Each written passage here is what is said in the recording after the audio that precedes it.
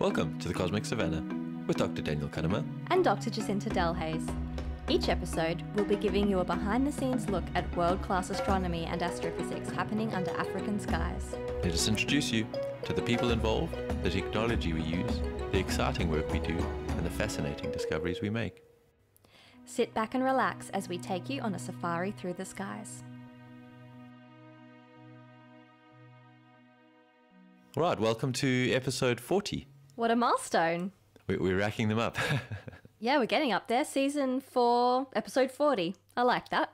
so, for this episode, we spoke to Dr. Marisa Geyer, who is a commissioning scientist at the MeerKAT Radio Telescope. And she's going to be talking to us a little bit about what that entails, what it entails to be a commissioning scientist, and also some of her research on pulsars and fast radio bursts. Yes, the enigmatic, mysterious fast radio bursts. But before we get into that, Jacinta, we are recording across the Indian Ocean at the moment. Yes, we are. I am coming to you from Australia from my small bedroom in quarantine at the Howard Springs Centre for National Resilience in Darwin, in the Northern Territory of Australia. I finally managed to get on a repatriation flight so I could come home, see my family. I haven't been here for, I haven't seen them for over a year and a half and also to do various administrative things that I had to come back to Australia to do. So, yeah, recording from the other side of the world. And how's quarantine going, or as you like to uh, call it in Australia, Quaza? Yes, Australians do like to abbreviate everything. So Quasar, it's uh, it's going it's going really really well actually. I mean, I'm so lucky to be here at this particular facility. The staff are amazing, the facilities are amazing. So it's kind of as good as it can possibly be for two weeks as a, as a semi inmate. We don't have any yard time. We get our food delivered every day. Um, but they also deliver our shopping for us. So in some ways, it's actually a little bit of a holiday, a little bit of a break. And I've got some nice neighbours, so we're we're kind of enjoying ourselves as much as we can. But you can't interact with your neighbors, right? You can talk to them. You can't you can't touch or go near each other or pass each other or anything. But yeah, we can talk to each other. And what's uh, what's been happening? What's the latest over there in South Africa? We had a very exciting day yesterday. Uh, I was very busy with interviews and TV. There was a Chinese upper stage rocket which came down over South Africa on Monday night. It burnt up in the upper atmosphere and was a very spectacular sight, uh, spotted across Botswana and then uh, the north of the country. Uh, a few people got some wonderful videos of it. I wasn't fortunate enough to see it myself, didn't get to Cape Town.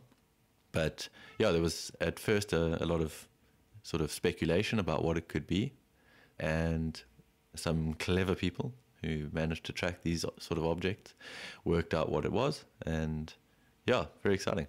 What did it look like? So when it burns up, it looks a little bit like what you think of as a meteorite. It's moving a little bit slower, and it broke up in the sky as it came in. So you first see the single fireball, and then it slowly breaks up into various smaller fireballs, and then burns out and disappears. Oh, the video looked really impressive. I was quite envious that we didn't get to see that. Yeah, I was very jealous too, especially you know talking so much about it but not having had the chance to see it. But you know we'll, we'll post a, a video on the on the blog so that anyone can have a look if they want. Yeah, it was uh, you know special special sighting. Always love seeing something up in the sky, any sort of event, even if this one wasn't natural. True. But speaking of things going flash in the sky, that brings us to our episode today. As you said, we're speaking with Marisa about fast radio bursts, which are exactly as the name sounds. They are bursts that are fast and they appear at radio wavelengths, so you can pick them up with radio telescopes. And it's a big mystery as to what is causing these things. They were only found, I think it was what I think Marisa told us it was in 2007 was the first one was found, and only a few dozen known until very recently, as Marisa will tell us more about. And they are using, along with MeerKAT, there's another telescope called CHIME that is being used to pick up many of these new fast radio bursts. That is the Canadian Hydrogen Intensity Mapping Experiment, CHIME, CHIME. Yeah, so very cool. And I mean, the conversation with Marisa was, was fantastic, which you'll be able to listen to now. Very interesting objects, well, events, fast radio bursts, and Marisa will give us some clues as to what they could potentially be. All right, well, without any further ado, let's hear from Marisa.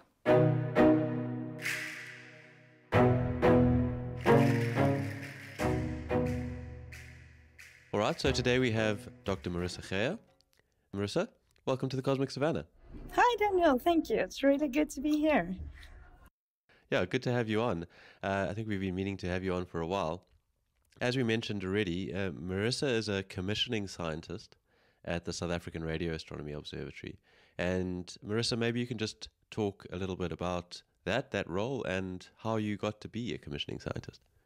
Yes, let me talk a little bit about what a commissioning scientist does. So, I work for the MeerKAT telescope, and basically, there are various aspects to what you need to do to get the telescope to work nicely. So, there's the obvious bits of the engineers that need to build it. Um, and all the software pipelines that need to run so that we can point it at particular astrophysical objects of interest. But then there's also the bit there where we need astronomers on board to make sure that the data that's coming in from the telescope is of science quality. And so we want to ensure that we've basically calibrated and set up the telescope in such a way that when I point to my favorite galaxy, the data appears the way I expect it to appear. So I am part of a particular sort of subsection of this team. So we work on the beamforming for MeerKAT telescope.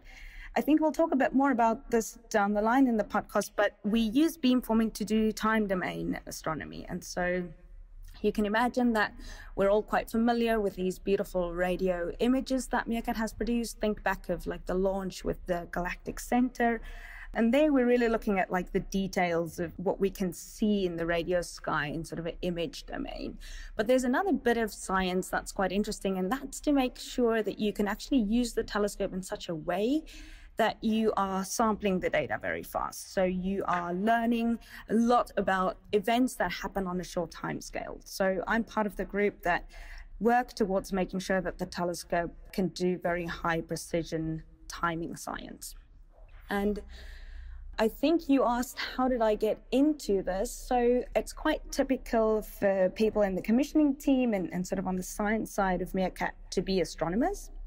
So, like Daniel, I have a background in astronomy, but I only really got to have an astronomy exposure a little bit later in my academic studies.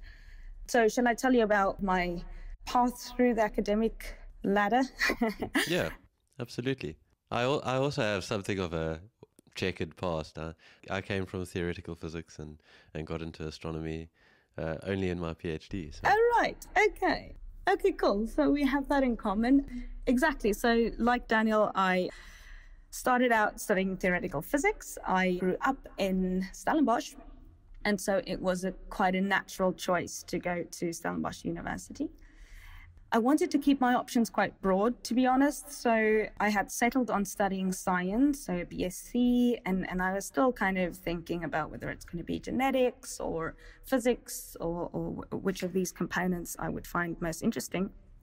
And then I think as you kind of do a three year and then fourth year as your honors, right? And as I was going through the BSc ranks, I really started liking the physics approach to problems I think I found it quite fundamental. So, those of you who've studied other fields like biology and such, you'll know that though there are many, you know, logical rules, even with in all these other sciences, it, it does feel like you have to spend quite a bit of time memorizing things. And maybe that wasn't my forte i don't know. But i really liked how in the physics department it felt like sort of you know pencil and a piece of paper you should be able to to get to sort of unravel most of the answers you need and so maybe that should also tell you that I wasn't initially so fond of like experimentation. Uh, the lab sessions, yeah, sometimes got the better of me. And so I think along the line, I grew more and more towards the mathematics, theoretical physics side of things. So by the end of my uh, fourth year, I had to figure out what to do next. And I think weirdly, it would have been standard for me to go into a master straight away. But I think just after four years, you know, you've had quite a lot of science exposure, and I was starting to be in the mood for something more creative. And I thought, well, if I don't give it the chance or a shot now, maybe I, I wouldn't come back to it. So I did a bit of journalism for one year. So you can kind of do like a honors in journalism. Is this pre-podcasting? it is. This was before the days of podcasts. So, so you um, wrote with a pencil and paper. yeah, it was me and my pencil and paper again, and uh, well, yeah, I'm also not much of a journalist now, so so maybe there was maybe that was more like an indulgent year, to be honest. It, it included things like photography and you know all sorts of creative writing and, and interesting uh, reading list to, to boot, and, and and obviously there was a science journalism component as well. So um where we got to pick projects. That was kind of my focus. And actually, this this was a, a, lucky coincidence that it was 2010, so it was the World Cup year. So what a great year to um, to be to studying take a year off. exactly. Oh, sorry, I sorry, have sorry, to watch study- this game studying. now. it's part of my work. No, so the from a science side, 2010 was really the year that the SKA awardships were being finalized, and it became ever more clear that you know part of it was going to come to South Africa. And so I actually got to spend some time in that year writing about that project and learning about how South Africa will play such a prominent role.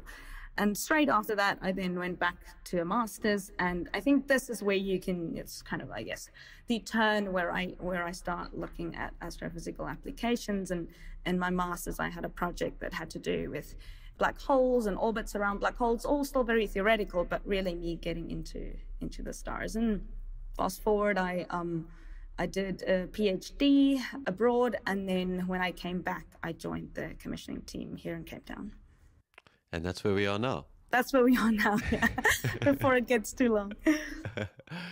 No, that's great. So where we are now, uh, a commissioning scientist for MeerKAT. So MeerKAT is sort of recently established, and obviously there there is still some commissioning going on, making sure the data is of high enough quality.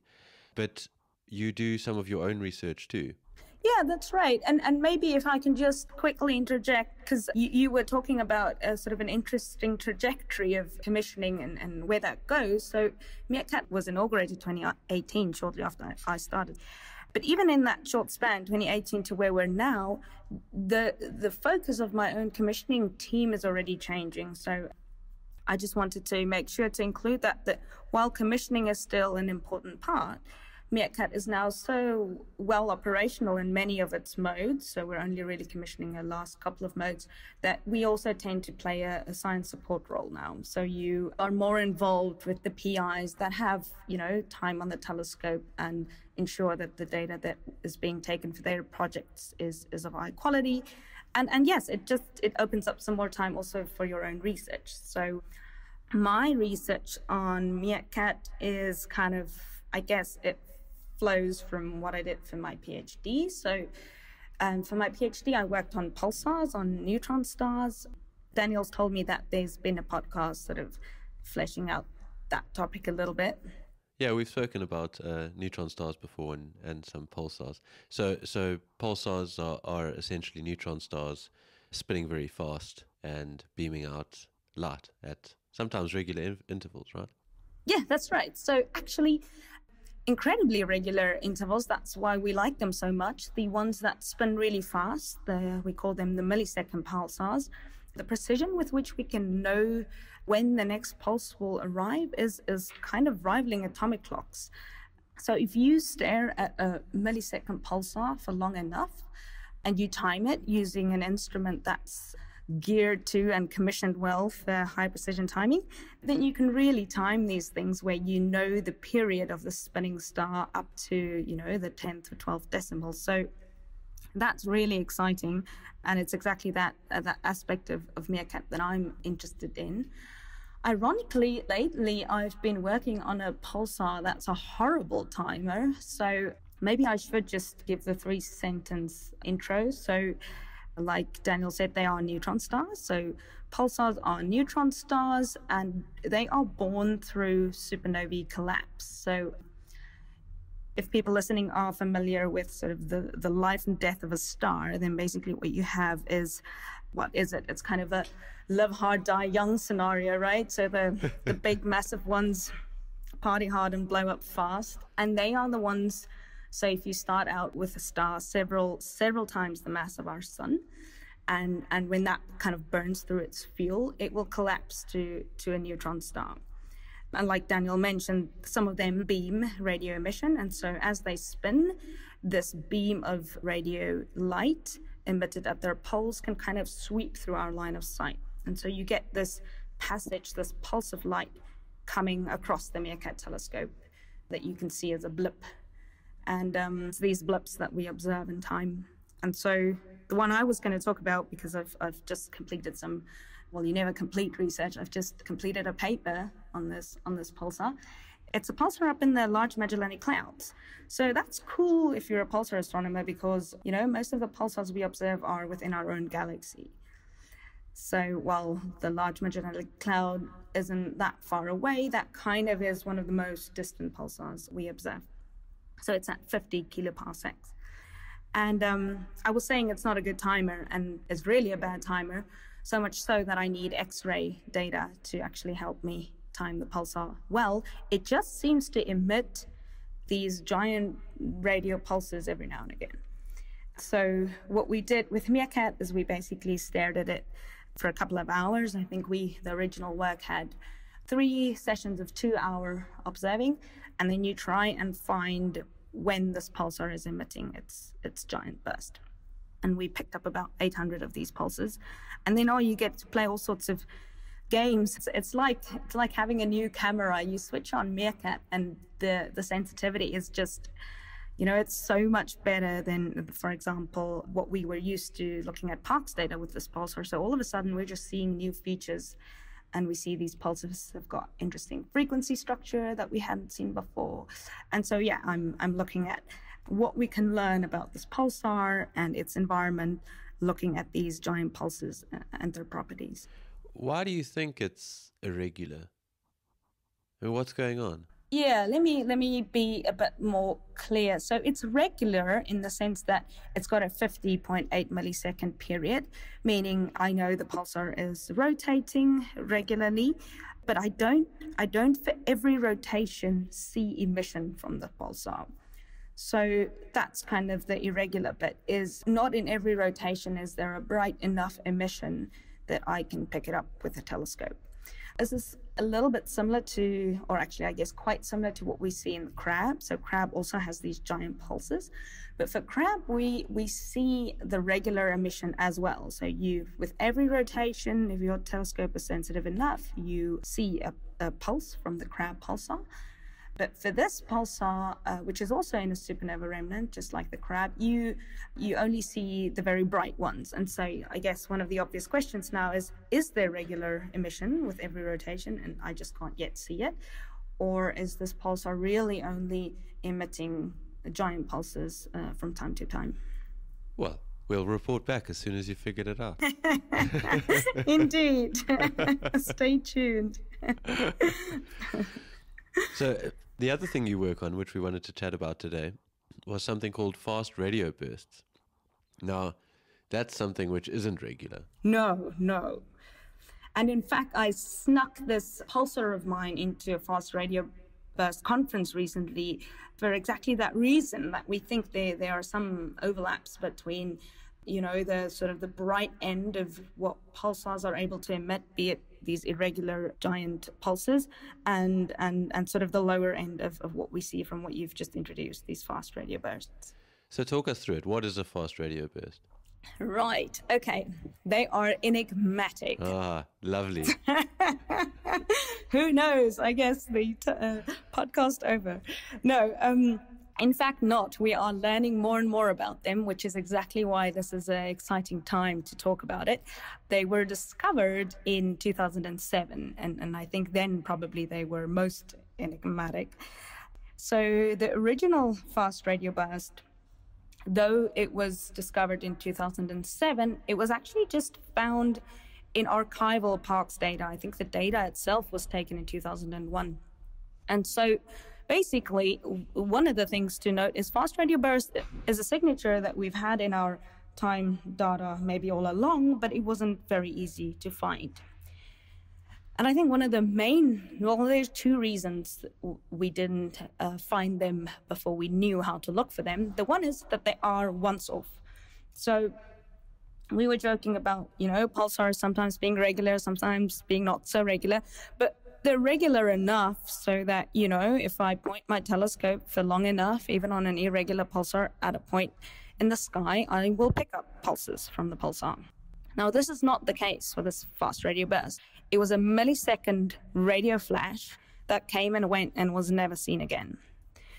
And so the way in which we search, for example, for pulsars isn't tuned very well for necessarily finding this. And then the other thing that makes them completely different to our sort of galactic family of pulsars is that we could tell from from the very first discovered FRB that they were coming from very far.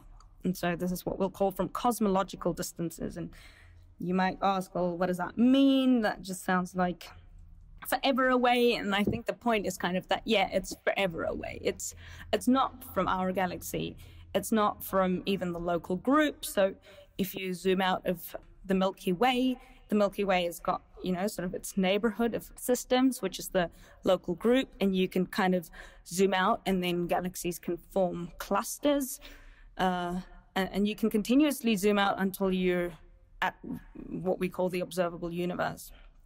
And so most of the FRBs, or maybe I should say many of the FRBs that have been discovered, seem to be coming from these across the universe distances.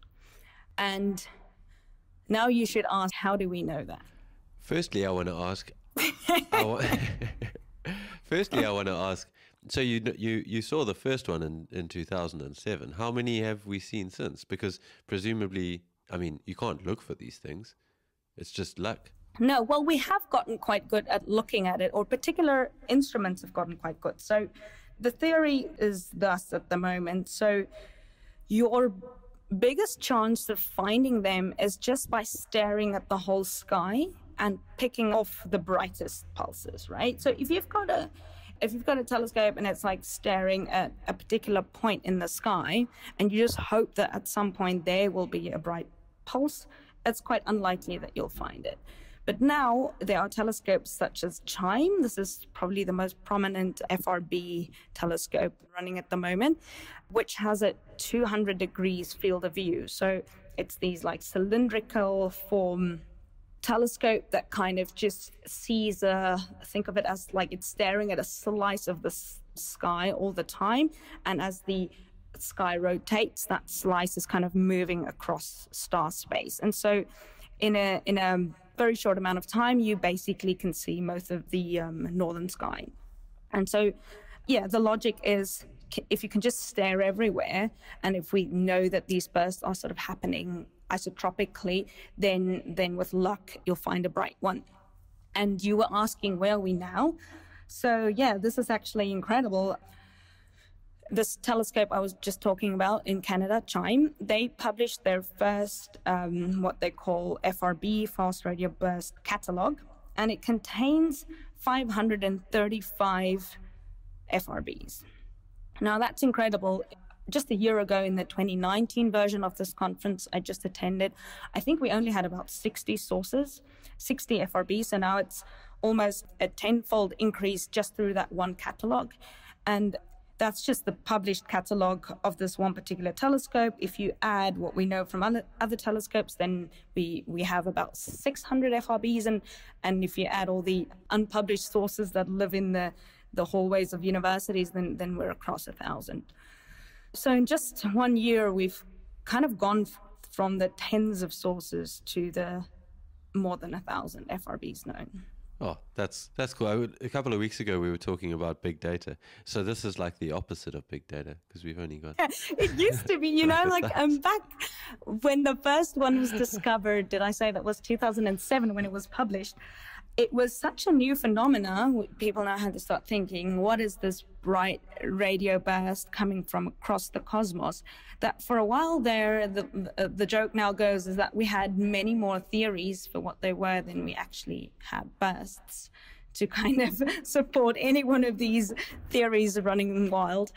Um, and now we're at the point where, you know, if you've got 600 to 1,000 of a type of thing, some of them repeating, some of them not, you can start doing statistics and you can start asking questions. How are the bursts different from one another or what qualities do they share? And, and so I think that's quite exciting. So before we get into how you know how far away they are, and then we can start talking about some of the remaining theories of what they are, I wanted to ask about something else. There was a Nature paper in 2015. I'm sure you know the one I'm referring to about fast radio bursts at Parkes where they discovered that the fast radio lunchtime fast radio. lunchtime fast radio bursts, right? And they were coming from from people like heating up their food in the microwave. That's right. So Gosh, yeah, it's funny how I've actually forgotten about it. We we have a name for that. They're called peritons. So peritons are now the FRBs that are not FRBs, but rather microwave-induced FRBs or human-induced FRBs. So, yeah, you can imagine that with a signal that's just once off, eh, you're limited in the in the amount of ways in which you can double check that it's astrophysical if a source is repeating and you can always point your uh, telescope at the point of the sky and, and, you know, reconfirm, reconfirm that it's there, it's easier. And so when this field started out, this was a real issue to learn how to make sure that we that we know whether they're true or not. And yeah, exactly. In Parkes, having discovered the first one when they started looking through more data and, and recording more data, looking for fast radio bursts, they noticed signatures that looked not too dissimilar. And they could tell that it wasn't quite astrophysical, but it wasn't clear what it was. And so finally,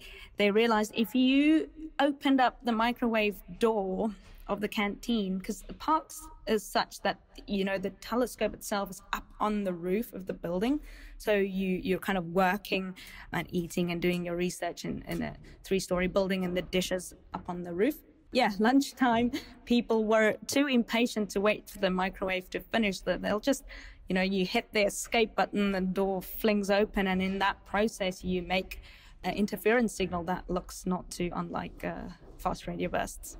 Well, I mean, let that be a lesson to you. Then you wait for the microwave to go beep, beep, beep before you open it. Yeah, exactly. Yeah, oh, that lesson. Yeah, I thought this was going to be a lesson in double checking your science. Yeah. Oh, oh yes, no, no, that too. Uh, so, I mean, presumably the Australian um, radio astronomers now have to sort of have cold food for lunch. Um, yeah, down which... to salads only. salad, salad only. Uh, okay, so so we managed to work out those ones and and eliminate them from our, our sample. Now, how do you work out? Well, firstly, if it's a, if it's a single occurring event, how you work out where it is in the sky and then how far away it is. The easier of your two questions is is how far away it is. Ironically. Oh man, I wish I could show you a plot, but now I'm going to try my very best. We can stick it on the blog. yeah, maybe we should afterwards. But this is a good exercise in language. If you think of like burst coming from whatever is generating this FRB. It's a single shot.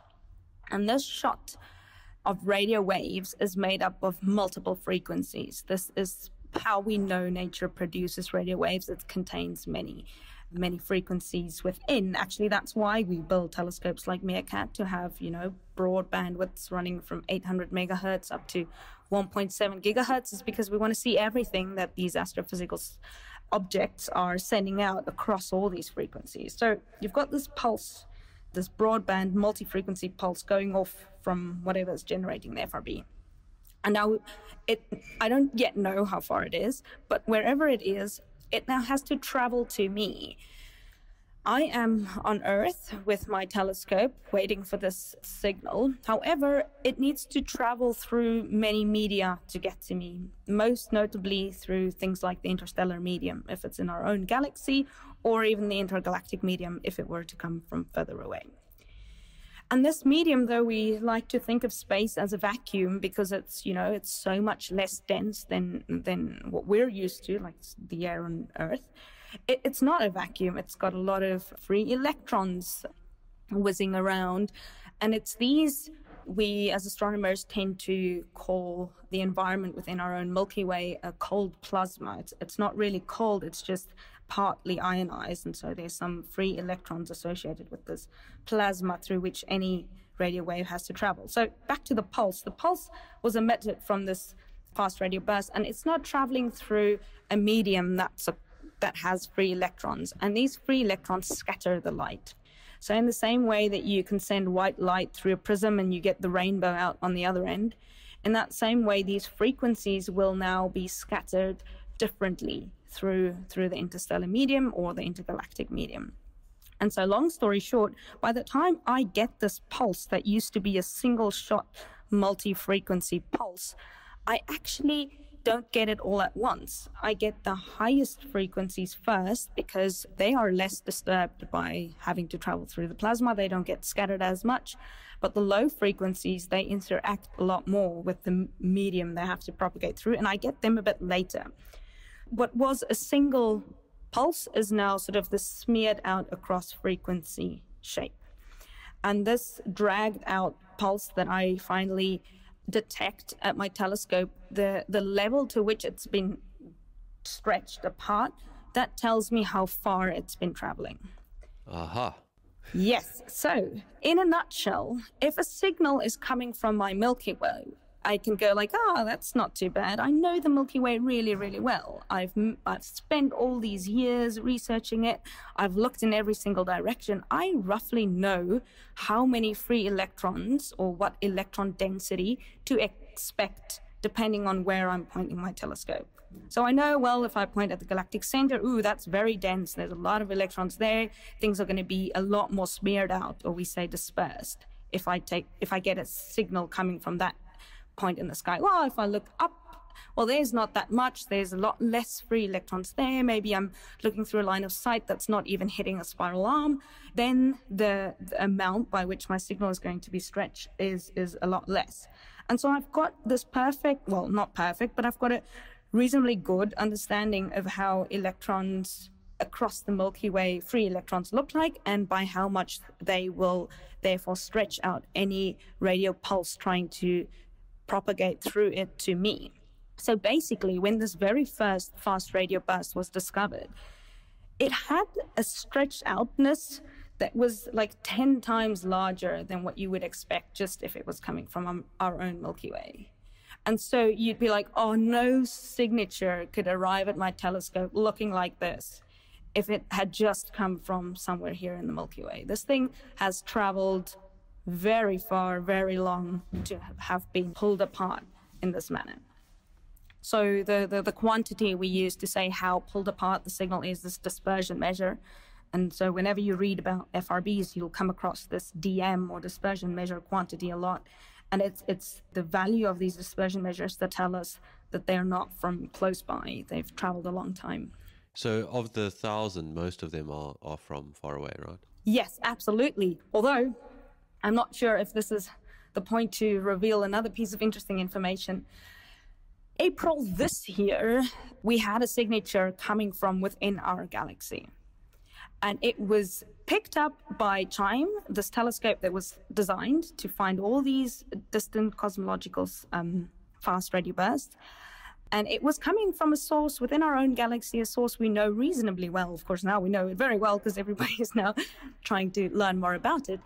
And so, for the first time, we had something that looked like a fast radio burst from a source in our galaxy. And as you can imagine, that is really, really driven where models of what we think they are is, is going to next. Okay, give it to us straight. What's the source? okay, so the source is a galactic magnetar. So I don't know if magnetars have been mentioned here, Daniel. Let's do it. Let's do it. Okay, so magnetar, it's in the name. It's basically just like the overly magnetized pulsar. So it's again, it's a neutron star, but it's a different neutron star in the sense that it's got a magnetic field that is oh, I don't know, just so much more strong than what we have for a pulsar. And so we think that the in, in, a pulsar where you've got a neutron star spinning, it's the rotational kinetic energy that's really allowing this pulsar to produce emission. But in the magnetar, we think it's this incredible magnetic field that is allowing, it's kind of the reservoir to send off these giant bursts. So this particular magnetar um, in our galaxy, it's called SGR 1935 plus 2154.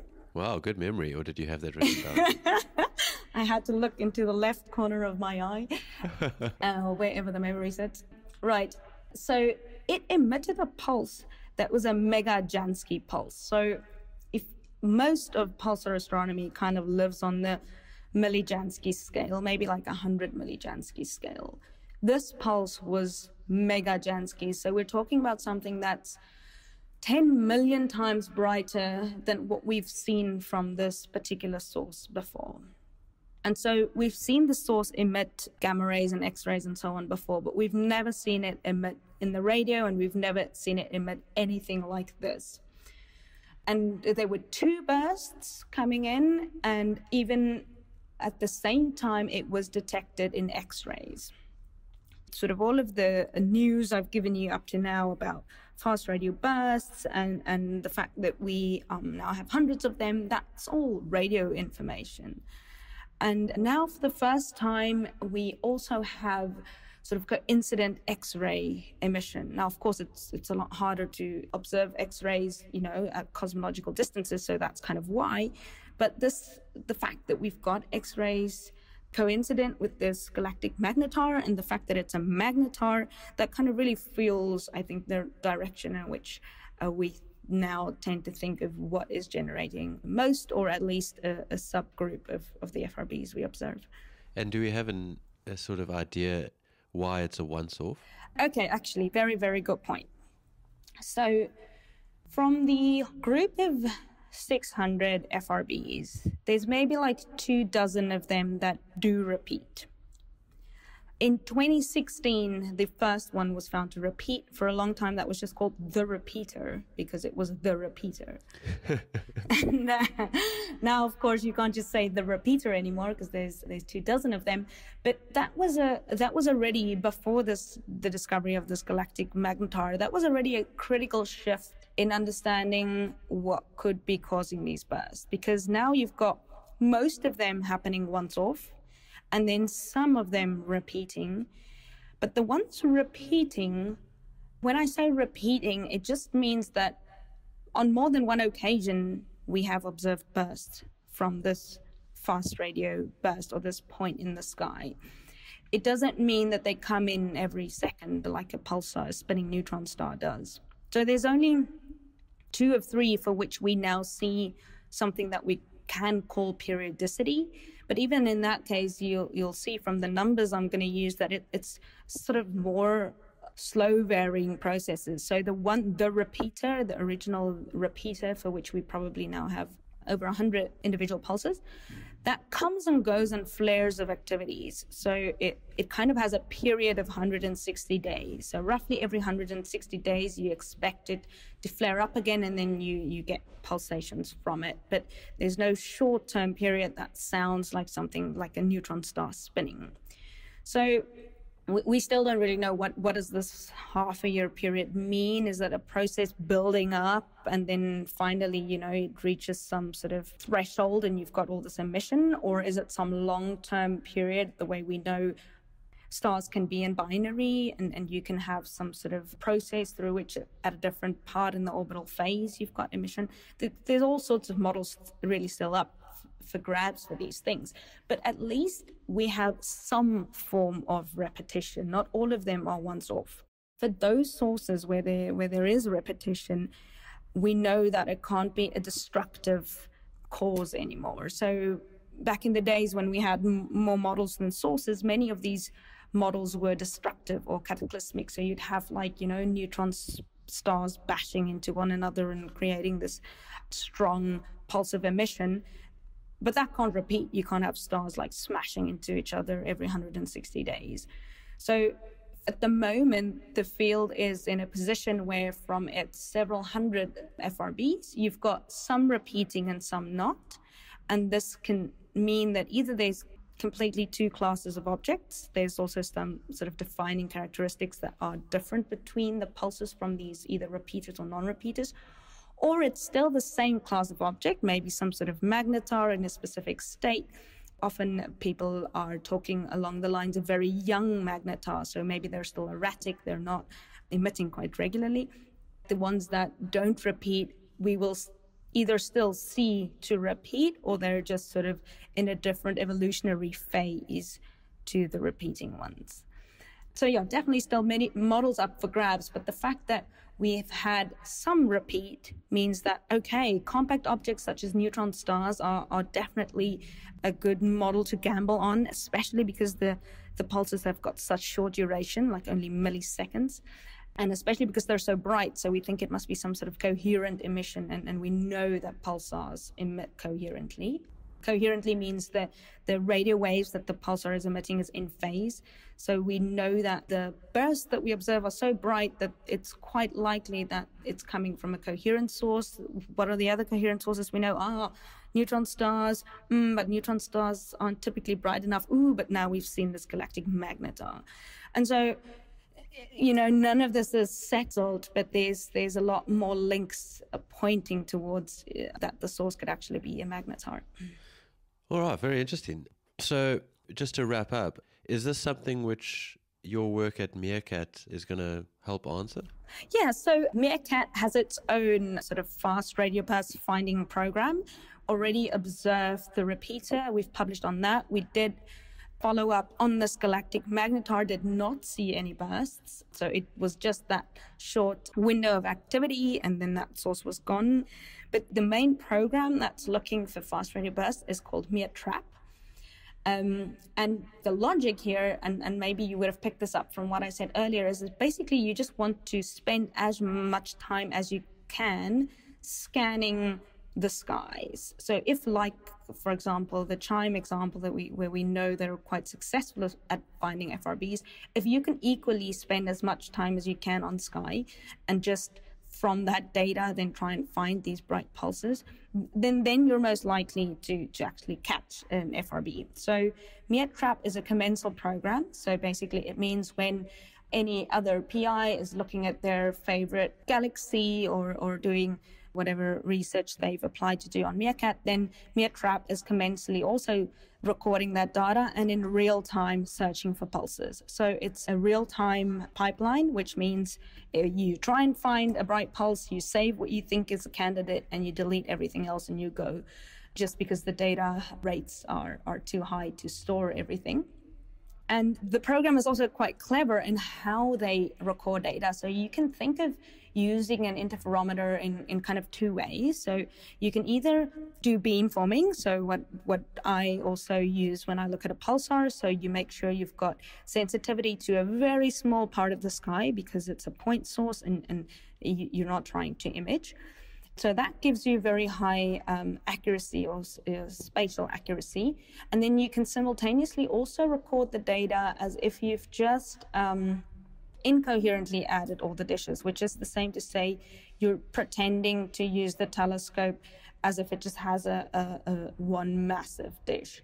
So MEERTRAP does both of that simultaneously. So you expect to find the bright pulses coming in into your large field of view, the incoherent beam, and then hopefully you can, after the fact, use the interferometric data to really pinpoint with high spatial accuracy where the FRB is coming from. So in this 2020 conference, I think we showed already 10 FRBs discovered by this MEER trap program. They're not published yet, so keep an eye out there's actually a couple of very exciting things that will, I think, soon be up, but I'll I'll let them reveal the news themselves. And I think just to kind of summarize that important idea of being able to localize FRBs well, that's kind of the bit that we're only starting to do well for FRBs in the last uh, lately. So you want to be able to say, oh, this FRB comes from that galaxy or from that that supernova remnant or from that globular cluster or some particular area in the galaxy so that you can learn more about the environment it's coming from. yeah, at the moment that's still a bit of a riddle. Like every from the set of host galaxies we have, there's about 14. It's a mixed bag. So some are coming from dwarf galaxies, some are coming from spiral galaxies, some are coming from old globular clusters, which doesn't quite make sense. If you want them to be magnetized, then you want them to be coming from sort of you know young stellar populations, and and yeah. So this mystery is far from I think far from being over. a lot to, a lot of good work to do for MeerKAT to do still. Oh, that's great. We love a good mystery, and as you as you started with, it's an enigma, which is very appealing to an astronomer. Absolutely, yeah. well, Marisa, thanks so much for joining us uh, on the Cosmic Savannah. Is there anything else you'd like to share with our listeners before we wrap up? Maybe what would be quite nice in this context is just to say that time domain astronomy in South Africa and, and across Africa is still very much in its sort of development stage. We don't have a long history of doing time domain astronomy. And so, with that, I mean, we don't have a long history of studying pulsars and FRBs. So, if students are quite keen on this type of work, I'm sure you'll put my details up somewhere where the podcast is at. We absolutely will. Great please tell them to get in touch because um, that's really something we're, we're hoping to develop. There will be a workshop on this type of work towards the end of September. Um, so I can also share the details for you for the website for that. And um, yeah, that, I think that's about it. Great. Yeah, we'll definitely share those details. And good luck with the workshop. I hope you get a lot of thank you. Yeah, thanks. A lot of attendees. And yeah, Thanks again for joining us. Take care. Thanks, Daniel. Cheers. Cheers.